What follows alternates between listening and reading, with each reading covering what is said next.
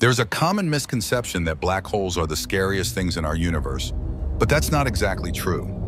Neutron stars are actually far more terrifying. When they explode, they unleash a blast zone spanning 36 light years. But that's not even the worst part. What's inside them might hold the most dangerous substance in the universe. It's called strange matter. And if it exists, it would be perfectly dense, perfectly stable, and completely indestructible. More stable than any other form of matter. Even worse, it's highly contagious. When neutron stars explode, they scatter millions of tiny strange matter particles, called strangelets, throughout the universe. These strangelets could travel for millions of years, and if just one, no bigger than an atom, were to collide with Earth, it could transform everything into strange matter, wiping out all life in an instant. Some scientists believe that there may be more strangelets in the Milky Way than there are stars. But because they're so small and space is so vast, we haven't encountered one yet.